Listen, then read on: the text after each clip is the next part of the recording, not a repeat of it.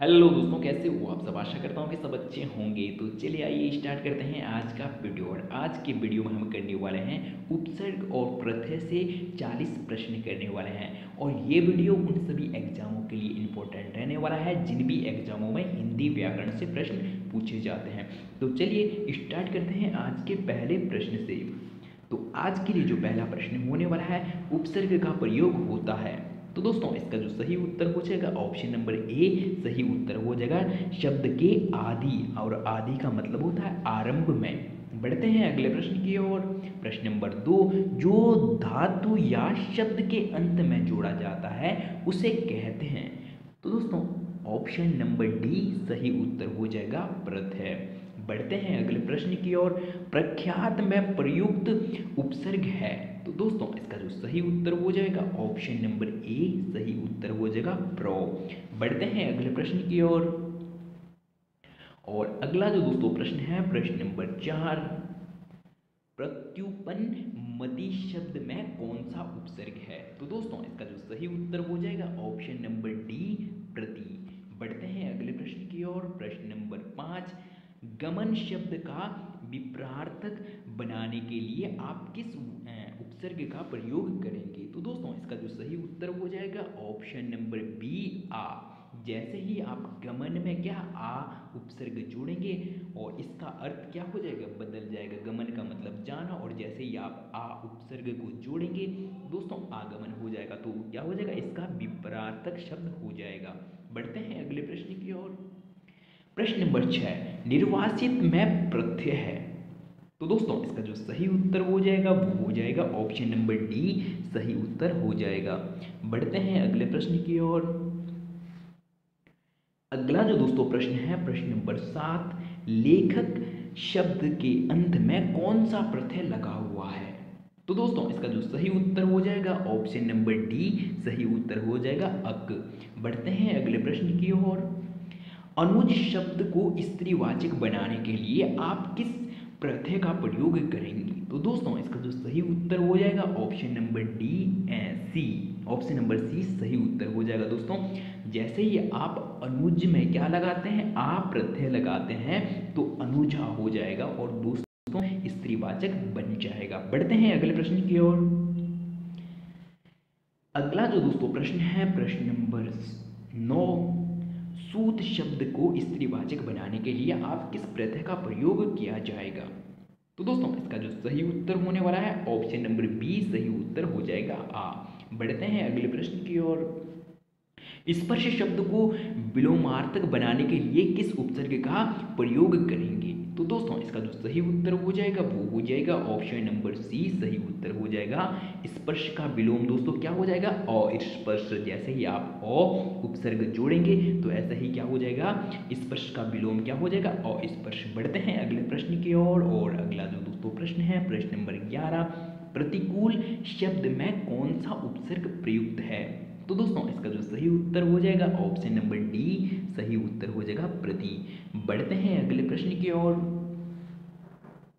अगला जो दोस्तों प्रश्न है, प्रश्न नंबर बारह कौन सा उपसर्ग आचार शब्द से पूर्व लगाने पर उसका अर्थ जुल्म हो जाता है? तो दोस्तों, आचार शब्द के आगे आप कौन सा शब्द लगाने वाले हैं, जिससे क्या हो जाएगा, शब्द क्या हो जाएगा, जुल्म हो जाएगा।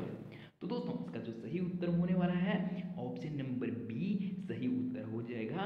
जैसे ही दोस्तों आचार के आगे क्या उपसर्ग के रूप में आप अति जोड़ेंगे तो दोस्तों शब्द का अर्थ क्या हो जाएगा? अत्याचार हो जाएगा।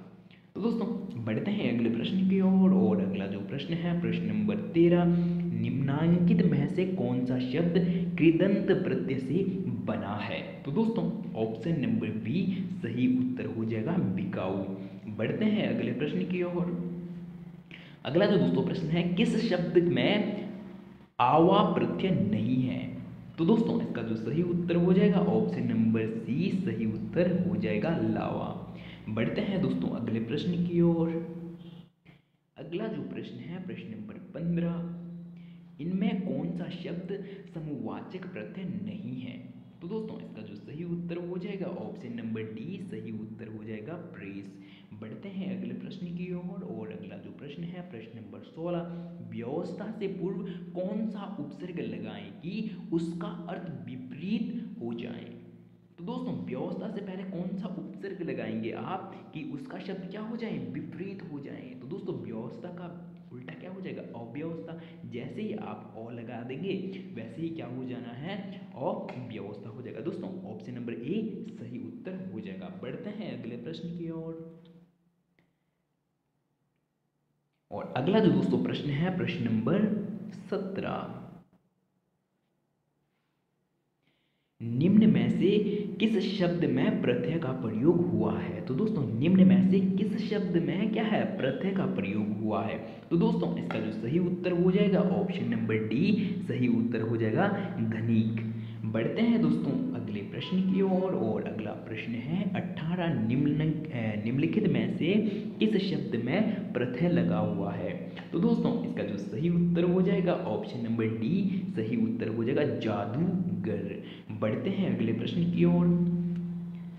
किस शब्द में उपसर्ग का प्रयोग हुआ है? तो दोस्तों इसका जो सही उत्तर हो जाएगा उपकार। ऑप्शन नंबर ए सही उत्तर हो जाएगा। बढ़ते हैं अगले प्रश्न की ओर। और अगला जो दोस्तों प्रश्न है, प्रश्न नंबर बीस, अनुवाद में प्रयुक्त उपसर्ग। तो दोस्तों, इसका जो सही उत्तर हो जाएगा, वो हो जाएगा ऑप्शन नंबर डी सही उत्तर हो जाएगा अनु। बढ़ते हैं अगले प्रश्न की ओर, निर्वाह में प्रयुक्त उपसर्ग। तो दोस्तों, इसका जो सही उत्तर हो जाएगा ऑप्शन नंबर सी सही उत्तर हो जाएगा नीर। बढ़ते हैं अगले प्रश्न की ओर, प्रश्न नंबर बाईस, हिंदी में कृत प्रत्ययों की संख्या कितनी है। तो दोस्तों, इसका जो सही उत्तर हो जाएगा, वो हो जाएगा ऑप्शन नंबर सी, सही उत्तर हो जाएगा बयालीस। बढ़ते हैं दोस्तों, अगले प्रश्न की ओर। अगला जो दोस्तों प्रश्न है, प्रश्न नंबर तेईस। कृदंत प्रत्यय किन शब्दों के साथ जुड़ते हैं? तो दोस्तों इसका जो सही उत्तर हो जाएगा ऑप्शन नंबर डी सही उत्तर हो जाएगा क्रिया।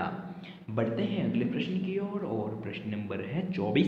निम्नलिखित पद एक प्रत्यय लगाने से बने हैं। इनमें कौन सा पद गलत है? तो दोस्तों इसका जो सही उत्तर हो जाएगा ऑप्शन नंबर डी सही उत्तर हो जाएगा पक्षिक बढ़ते हैं अगले प्रश्न की ओर और, और अगला जो प्रश्न है प्रश्न नंबर पच्चीस। किस शब्द की रचना प्रत्यय से हुई है। तो दोस्तों इसका जो सही उत्तर हो जाएगा ऑप्शन नंबर डी सही उत्तर हो जाएगा। इनमें से कोई नहीं। बढ़ते हैं अगले प्रश्न की ओर। और, और अगला जो दोस्तों प्रश्न है प्रश्न नंबर पच्चीस दो बार हो गया। प्रश्न नंबर छब्बीस। बेइंसाफी। बेइंसाफी में प्रयुक्त उपसर्ग। तो दोस्तों इसका जो सही उत्तर हो जाएगा ऑप्शन नंबर ए सही उत्तर हो जाएगा बे इंसाफ तो दोस्तों मूल शब्द है और अगर हम बात करें उपसर्ग की तो बे हो जाएगा। बढ़ते हैं दोस्तों अगले प्रश्न की ओर और, और अगला जो प्रश्न है निम्नलिखित में से उपसर्ग रहित शब्द। तो दोस्तों इसका जो सही उत्तर हो जाएगा सही उत्तर हो जाएगा दोस्तों ऑप्शन नंबर डी सुरेश। बढ़ते हैं अगले प्रश्न की ओर। बहाव शब्द में प्रयुक्त प्रत्यय कौन सा है? तो दोस्तों इसका जो सही उत्तर हो जाएगा ऑप्शन नंबर सी सही उत्तर हो जाएगा आओ। बढ़ते हैं अगले प्रश्न की ओर और, और अगला जो प्रश्न होने वाला है प्रश्न नंबर उनतीस। विज्ञान शब्द में प्रयुक्त उपसर्ग। तो दोस्तों इसका जो सही उत्तर हो जाएगा ऑप्शन नंबर सी सही उत्तर हो जाएगा वी बढ़ते हैं अगले प्रश्न की ओर। चिरायु शब्द में प्रयुक्त उपसर्ग। तो दोस्तों इसका जो सही उत्तर हो जाएगा ऑप्शन नंबर बी सही उत्तर हो जाएगा चीर। बढ़ते हैं अगले प्रश्न की ओर। धुंधला शब्द में प्रयुक्त प्रत्यय तो दोस्तों इसका जो सही उत्तर हो जाएगा ऑप्शन नंबर सी सही उत्तर हो जाएगा ला। बढ़ते हैं अगले प्रश्न की ओर। और, और अगला जो दोस्तों प्रश्न है प्रश्न नंबर बत्तीस। दोष हरता में प्रयुक्त प्रत्यय दोस्तों दोषहर्ता में प्रत्यय का चयन कीजिए। तो इसका जो सही उत्तर हो जाएगा ऑप्शन नंबर डी सही उत्तर हो जाएगा हारी दोषाहारी। बढ़ते हैं अगले प्रश्न की ओर और, अगला जो दोस्तों प्रश्न होने वाला है प्रश्न नंबर तैंतीस किस शब्द में उपसर्ग नहीं है? तो दोस्तों इसका जो सही उत्तर होने वाला है ऑप्शन नंबर डी सही उत्तर होने वाला है। बढ़ते हैं दोस्तों अगले प्रश्न की ओर और, और अगला जो प्रश्न होने वाला है प्रश्न नंबर चौंतीस। तो दोस्तों, प्रश्न है, संस्कार शब्द में किस उपसर्ग का प्रयोग हुआ है? तो दोस्तों, इसका जो सही उत्तर हो जाएगा ऑप्शन नंबर ए सही उत्तर हो जाएगा, सम। बढ़ते हैं अगले प्रश्न की ओर। पुरोहित में उपसर्ग है। दोस्तों, इसका जो सही उत्तर हो जाएगा ऑप्शन नंबर बी सही उत्तर हो जाएगा। बढ़ते हैं अगले प्रश्न की ओर। अवनत शब्द में प्रयुक्त उपसर्ग। इसका जो सही उत्तर हो जाएगा ऑप्शन नंबर सी सही उत्तर हो जाएगा। औ बढ़ते हैं अगले प्रश्न की ओर और, और प्रश्न नंबर सैंतीस सावधानी शब्द में प्रयुक्त प्रत्यय है। इसका जो सही उत्तर हो जाएगा ऑप्शन नंबर ए सही उत्तर हो जाएगा ई बढ़ते हैं अगले प्रश्न की ओर और, और अगला जो प्रश्न होने वाला है प्रश्न नंबर अड़तीस। कनिष्क शब्द में प्रयुक्त प्रत्यय। दोस्तों इसका जो सही उत्तर हो जाएगा वो हो जाएगा ऑप्शन नंबर ए सही उत्तर हो जाएगा ईस्ट बढ़ते हैं अगले प्रश्न की ओर और, अगला जो प्रश्न है प्रश्न नंबर उनचालीस. दोस्तों अगर आप हमारे सारथी कोचिंग सेंटर में पहली बार हो तो चैनल को सब्सक्राइब और वीडियो को लाइक करना ना भूलें. प्रश्न नंबर उनचालीस. अथयु शब्द में निम्न में से कौन सा उपसर्ग है? तो दोस्तों इसका जो सही उत्तर हो जाएगा ऑप्शन नंबर सी सही उत्तर हो जाएगा अति। बढ़ते हैं अगले प्रश्न की ओर और, अगला जो दोस्तों प्रश्न है ये आज के लिए अंतिम प्रश्न होने वाला है। तो दोस्तों अगर आप हमारे सारथी कोचिंग सेंटर में पहली बार हो तो चैनल को सब्सक्राइब और वीडियो को लाइक करना ना भूलें। अमावट में प्रयुक्त प्रत्यय तो दोस्तों अमावट में प्रत्यय बताना है। इसका जो दोस्तों सही उत्तर हो जाएगा ऑप्शन नंबर सी सही उत्तर हो जाएगा आवट तो दोस्तों, आज के लिए इतना ही और मिलते हैं जल्दी ही अगले नेक्स्ट वीडियो